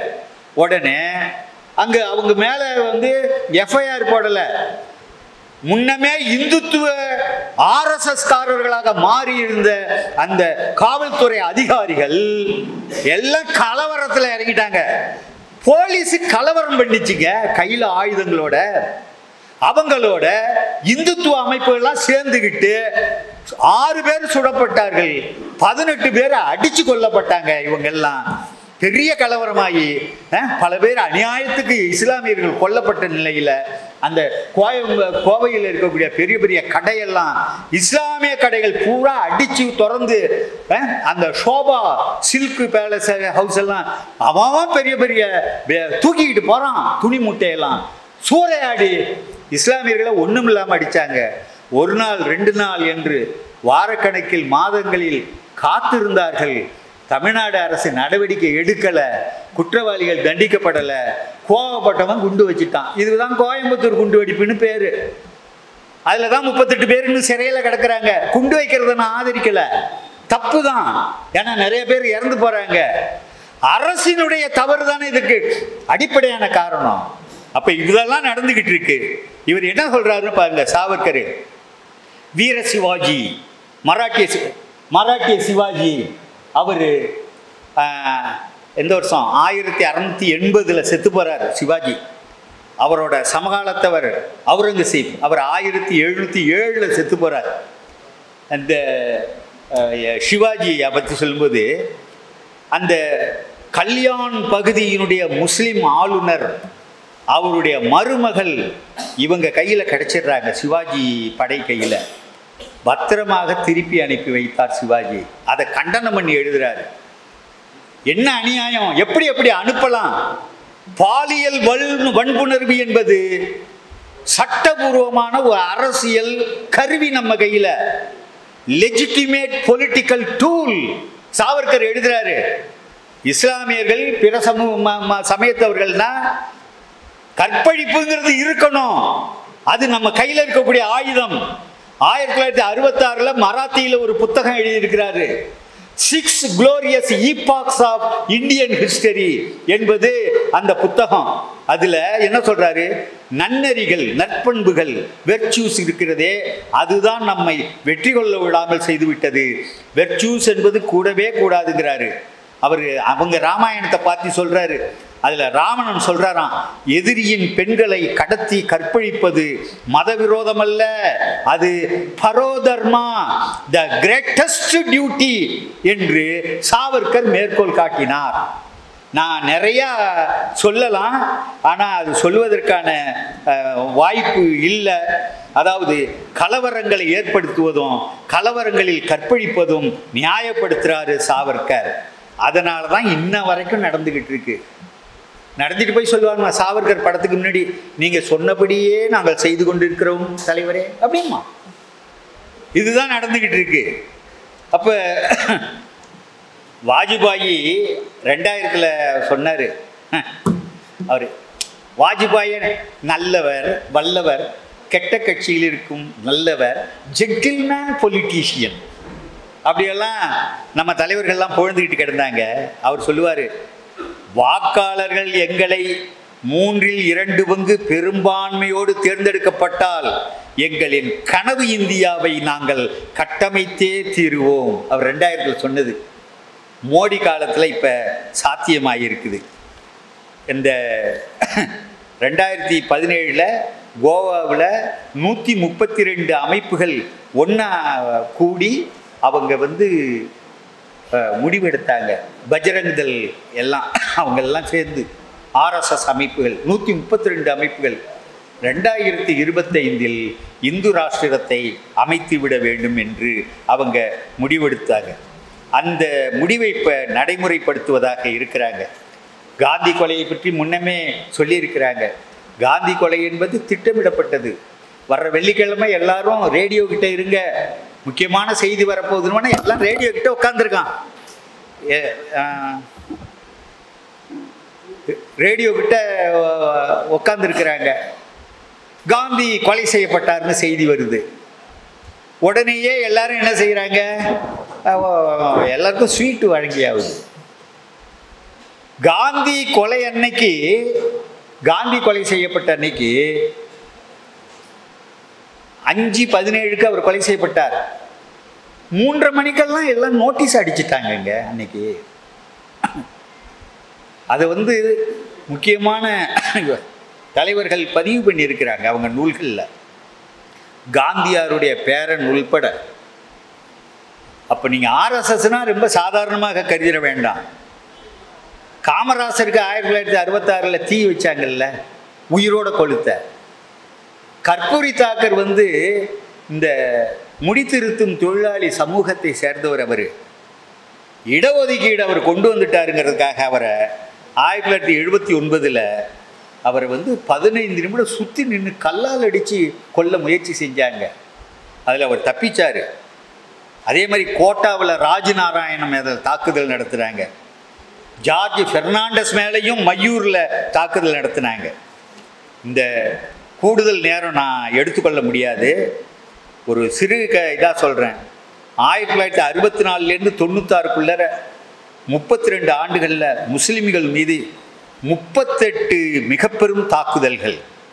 கிறித்தவர்கள் மேலே ஆயிரத்தி தொள்ளாயிரத்தி தொண்ணூறில் குஜராத்தில் மட்டும் முப்பத்தெட்டு தாக்குதல்கள்.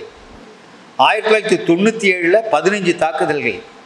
தொண்ணூற்றி எட்டில் தொண்ணூறு தாக்குதல்கள். அதாவது கிறித்தவ கன்னியாஸ்திரிகளை அவங்கள ஒரு நாலு பேரை பாலியல் வன்புணர்வு செய்தார்கள். அது அவன் அவங்களுடைய அமைப்பு அதை கோருது. அது வந்து ஆஸ்திரேலிய பாதிரியார் கிரஹாம் ஸ்டெயின்ஸு அவர் ரெண்டு பையனுகளை தொண்ணூற்றி ஒம்போதில் அவரை உயிரோடு எரிச்சாங்க காரில் வச்சு. அப்போ இவர் என்ன சொன்னார்? வாஜ்பாய் என்ன சொன்னார்? மதமாற்றம் தான் மூல காரணம். அவங்க உயிரோடு எரிச்சாங்களேங்கிறத பற்றி அவர் பேசலை. மதமாற்றம் தான் மூல காரணம். மதமாற்றம் குறித்து நாம் பேச வேண்டியிருக்கிறது. ரெண்டாயிரத்தி ரெண்டில் குஜராத் கலவரத்தை இவர்களே திட்டமிட்டு அந்த ரயிலில் ஒரு பெட்டியை எரித்து இவர்களே திட்டமிட்டு தான் செய்தார்கள். மூவாயிரம் பேரை கொண்டாங்க எவ்வளவு பெண்கள் பாலியல் வன்புணர்வுக்கு ஆட்படுத்தப்பட்டாங்க. அதாவது இந்த தமிழ் குஜராத் அரசு காவல்துறை இராணுவப்படை பிரிவு அவங்க உதவி இருக்குது ஹோம்கார்டு. எல்லாம் இவர்கள் எல்லாம் சேர்ந்து தான் இதை நடத்தினாங்க. அது ஒரு கூட்டு முயற்சி குஜராத் கலவரம்னு ராஜா மேனன் முன்னாள் கடற்படை அதிகாரி அவர் சொல்லியிருக்கிறார். ஏராளமான சான்றுகள் நம்ம கொடுக்கலாம். இப்போ நம் நிலை என்ன? முன்னாள் முதலமைச்சர் கர்நாடகா குமாரசாமி நாலாயிரம் ஐஏஎஸ் அதிகாரிகள் ஆர்எஸ்எஸ் காரர்கள்னு சொல்லியிருக்காரு. இன்னைக்கு ஆர்டிஓ அல்லது ஆர்டிஓவுக்கு மேலே இருக்கிற அவ்வளவு அதிகாரிகளும் கிட்டத்தட்ட ஆர்எஸ்எஸ் காரர்கள் மாவட்ட நீதிபதிகளில் கொஞ்சம் உயர் நீதிமன்ற உச்ச நீதிமன்ற நீதிபதிகளில் பெரும்பாலும் ஆர்எஸ்எஸ்காரர்கள் இன்றைக்கி நீதித்துறை அவங்க கையில் இருக்குது நிர்வாகத்துறை அவங்க கையில் இருக்குது அரசு ஊழியர்கள் ஆர்எஸ்எஸ்ஸில் சேரலாம் என குஜராத் முதல்வர் முதல்வர் சேசுராஜ் பட்டேல் எல்லாம் ஆர்எஸ்எஸ்காரங்களாகிட்டாங்க அரசு ஊழியர்கள். ரெண்டாயிரத்தி பதினாறில் மட்டும் அறுநூத்தி இருபத்தாறு ஆர்எஸ்எஸ்காரர்கள் ஐஏஎஸ் தேர்வில் வெற்றி என்று கர்நாடகா முதலமைச்சர் சொல்கிறாரு இது ரொம்ப கவலையோட நம்ம கவனத்தில் எடுத்துக்கணும். இப்போ ஆர்எஸ்எஸ் வந்து இராணுவ பள்ளி திறந்து திறந்துருக்கு. இந்த பாப்புலர் ஃப்ரண்ட் ஆஃப் இந்தியா நாங்கள் வந்து லெஃப்ட் ரைட் போட்டு நடக்கிறோன்னு தான் கேட்டாங்க. அனுமதி கிடைக்கல. ஆனால் ஆர்எஸ்எஸ் இராணுவ பள்ளி திறந்துருக்குது. முன்னாள் ராணுவ அதிகாரிகள் அவங்களுக்கு பயிற்சி கொடுத்துக்கிட்டு இருக்காங்க. பாருங்க இந்த துப்பாக்கி எல்லாம் எடுத்து அவங்க பயிற்சி பெறுறாங்க. அவங்க எவ்வளவு பேர் இருக்காங்கன்னா உலகளாவிய அளவில் ஐம்பத்தாறு லட்சம் உறுப்பினர்கள் இருக்காங்க. ஐம்பத்தி ஆறு லட்சம் உறுப்பினர்கள் இருக்காங்க உலகளாவிய அளவில். திருமணம் பண்ணிக்காம இதே வேலையாக பதிமூவாயிரம் ஆர்எஸ்எஸ் கேடர்ஸ் eh, இருக்கிறாங்க. நாம் நினைக்கிறத விட அவங்க ரொம்ப பலமாக இருக்கிறாங்கங்கிறதையும் நாம் தெரிஞ்சிக்க வேண்டியிருக்குது. அது மட்டும் இல்லாமல் ஏராளமான பிள்ளைகள் இந்த பாருங்க. இப்போ இது நாம் ஒரு பத்து பையன்கள்கிட்ட பேசுவோம். அவன் ஷாக்கா நடத்துகிறானே அதில் வந்து மூல செலவை பண்ணுறான் அரசு பள்ளிகளிலெல்லாம் இப்போது ஆர்எஸ்எஸ்காரர்கள் வடக்கையெல்லாம் நியமனம் ஆயிட்டு. வித்யாபாரதியில் அந்த வித்யாபாரதியின் கீழே பல்லாயிரம் பள்ளிகள் ஆர்எஸ்எஸ்காரர்கள் நடத்துகிறாங்க சரஸ்வத் சிசு மந்திர் மத்திய பிரதேசத்தில் ஆயிரம் ஆர்எஸ்எஸ்காரர்கள் ஆசிரியர்களாக நியமனம். சன்ஸ்கார் கேந்திரங்கள் என்று கலாச்சார பள்ளிகள்ங்கிற பேரில் வித்யாபாரதிக்கு கீழே பன்னெண்டாயிரத்தி முந்நூற்றி அறுபத்தி நாலு பள்ளிகள் நாற்பத்தி ரெண்டு கல்லூரிகள் பன்னெண்டாயிரத்தி ஒன்று சேவா கேந்திரங்கள் ஒரு லட்சத்தி நாற்பத்தாறாயிரத்தி அறுநூத்தி நாற்பத்தி மூணு ஆசிரியர்கள் ஆ, அதுல படிக்கிற பையங்க முப்பத்தி நாலு லட்சத்து ஐம்பத்தி ரெண்டாயிரத்தி அறுநூத்தி ஐந்து பதினைந்து மாணவர்கள். இவங்க தாங்க. இதுல இருந்து தாங்க வர்றாங்க ஐஏஎஸ் நீதிபதிகள் மற்ற பொறுப்புகள் தப்பிக்குமா நாடு? வருமுன் காவாதான் வாழ்க்கை தான் நம்மளுடைய வாழ்க்கை. அப்போ இந்த நிலையில் நாம் என்ன செய்வது? இதில் கூடுதலாக ஒரு செய்தி. எக்ஸிக்யூட்டிவ் நிர்வாகத்துறையில் எல்லாம் நம்ம ஆள். நீதித்துறையிலையும் இப்போ நம்ம ஆள். சட்டத்துறை லெஜிஸ்லேச்சரில் நம்ம கையில் வந்துடுச்சு. எல்லா துறையும் வந்துட்டு. நாம் இன்னைக்கு எதையும் செய்ய முடியும். வளர்ந்து விட்டோம் ஆர்எஸ்எஸ் ஒரே தடை என்னன்னா மக்கள் தான் தடை. அப்போ அவன் மக்களை தன்மையப்படுத்துறதுல இப்போ இருக்கான். தி தி காஷ்மீர் ஃபைல்ஸ்னு ஒரு சினிமா படம் ஒன்று வந்திருக்குல்ல. அதில் பத்தொம்போது ஜனவரி பத்தொம்போது ஆயிரத்தி தொள்ளாயிரத்தி தொண்ணூறு அன்னைக்கு அப்படியே கிளம்பி போகிறாங்க முஸ்லிம்களுடைய அச்சுறுத்தலுக்கு பயந்து வெளியேறுறாங்களாம் அதாவது எவ்வளவு பொய்களை எடுத்திருக்கான் பத்தொன்பது ஜனவரிங்கிறதுல ஒரு வரலாறு இருக்கு. பத்தொன்பது ஜனவரி ஆயிரத்தி தொள்ளாயிரத்தி தொண்ணூறுல வெளியேறாங்க ஆயிரத்தி தொள்ளாயிரத்தி எண்பத்தொம்போதுல அவர் முதலமைச்சராக இருந்தார்ல. அந்த ருபையாவோட அப்பா.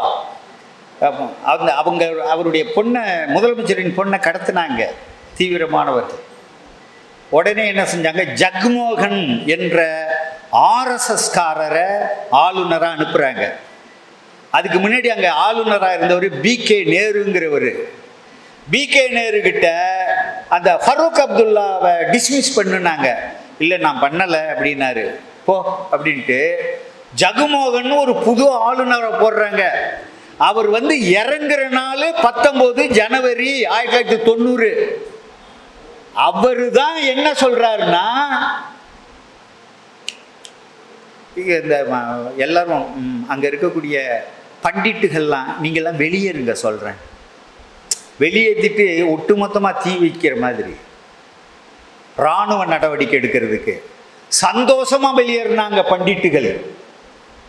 ஜெகமோகனுடைய அழைப்பை ஏற்றுதான் அவர்கள் வெளியேறினார்கள். ஹிஸ்புல் முஜாவுதீனும் சொல்லியிருந்துச்சு எல்லாம் வெளியில் போங்கன்னு சொல்லி. இல்லைன்னு சொல்ல முடியாது அவங்க சொன்னதாக தெரியுது.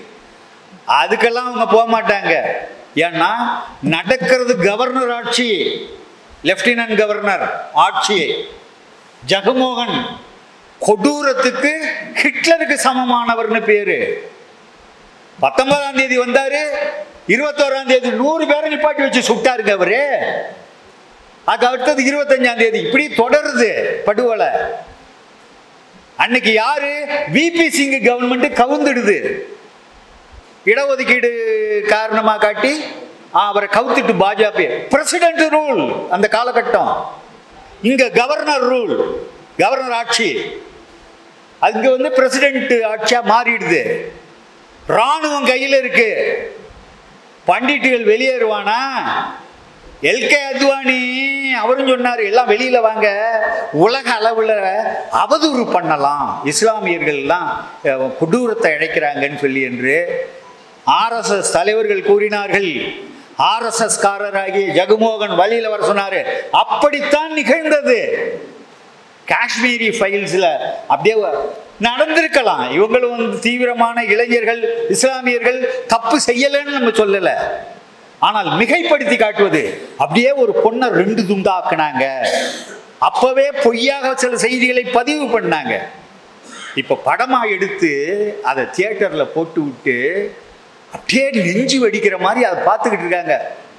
முஸ்லிம்கள் எவ்வளவு கொடுமையானவர்கள். இதான் அவங்களுடைய பார்வை. அதை பாருங்க. நான் அப்படியே நடுப்புற முழக்கம் போடுறான். முஸ்லிம்களை எதிர்த்து முழக்க வெறி கொண்டு நிற்கிறான் இஸ்லாமியர்களுக்கு என்ன நிகழும் அடுத்ததுன்னு நம்ம சொல்ல முடியாது. ஆர்எஸ்எஸ் ஒரு ஒரு பகுதியாக கவனிச்சுக்கிட்டு வருது. ஒரு பெரிய இனப்படுகொலை நிகழ்ந்தால் ஆச்சரியப்பட வேண்டாம். மக்களை இனப்படுகொலைக்கு தயார் செய்வது என்பதை இந்த காஷ்மீரி ஃபைல்ஸுங்கிற இந்த படம் செய்கிறது. அப்படியே உண்மையா படமா எடுத்துட்டீங்க. வாங்கன்னு கூப்பிட்டு பாராட்டி எம்பிக்கள் அமைச்சர்கள் ந- மோடி நரேந்திர மோடி எல்லாரும் பதினஞ்சு கோடி ப ப- செலவுல எடுத்ததை நூறு கோடி ஒரே வாரத்தில் வசூல். மூளை செலவை செய்கிறார்கள். மக்களை இஸ்லாமியர்களுக்கு எதிராக திருப்புகிறார்கள். இனப்படுகொலைக்கு தயாராகிறார்கள். ராணுவ அதிகாரிகள் இஸ்லாமியர்களை காப்பாற்ற மாட்டார்கள். ஏன்னா பல ராணுவ அதிகாரிகள் ஆர்எஸ்எஸ் காரர்கள் கடற்படை விமானப்படை தரைப்படைக்கு ஒரே தளபதி ஆர்எஸ்எஸ் காரர் நீதித்துறையில் நீதி க- கிடைத்து விடாது. இந்த நிலையில தான் நாம என்ன கோர்றோம்னா ஒரு கட்டத்துல இளைஞர்களே புரிந்து கொள்ளுங்கள். பழைய நிலைமைக்கு நம்மளை கொண்டு போய் வைக்கிறதுக்கு பேர் தான் இந்து ராஷ்டிரம். அதுதான் அவன் இலக்கு. அனுமதிச்சிடாதீங்க. அபாயம். நாம ஒரு கட்டத்துல ஆர்எஸ்எஸ்காரர்களை தடுத்து நிறுத்தணும். ஆர்எஸ்எஸ்காரர்னா அங்கே பச்சை குத்திக்கிட்டு வர மாட்டான் எல்லா கட்சியிலையும் இருப்பான் அவன். அப்படியே வந்து நைஸா அவன் பேசும்போதே தெரிஞ்சிடும் அனுமதிக்காதீங்க. இப்ப நாம செய்ய வேண்டியது முதல்ல இளைஞர்களை அவர்களிடம் செல்லாமல் தடுத்து நிறுத்தணும். காப்பாற்றணும் எல்லாருக்கும் அறிவுறுத்தணும். தமிழ்நாட்டின் அனைத்து கட்சிகளும் தலைமைகள் முதல்ல தெளிவாகணும். ஆர்எஸ்எஸ் காரங்க அந்த க- க- நெருக்கம் காட்டுவது அல்லது பாஜகவோட இணைந்து நிற்பது என்பது இந்த மக்களுக்கு இந்த இனத்திற்கு செய்யக்கூடிய மாபெரும் துரோகம். வரலாறு உங்களை மன்னிக்கவே மன்னிக்காது. இந்த கட்டத்திலேயாவது தலைவர்கள் திருந்த வேண்டும். நம்மை ஒத்த சிந்தனைகள் உள்ளவங்க இருக்கிறாங்க. அந்த அந்த மாநிலங்கள் பூராவும் இப்போ கைகோர்க்க வேண்டியிருக்கிறது. இந்த பேரழிவிலிருந்து இந்த நாட்டை மீட்டெடுக்க வேண்டும். ஒவ்வொருவரும் இந்துவாக உணர வேண்டாம். தமிழ் தேசிய இனத்தவராக உணர வேண்டியிருக்கு.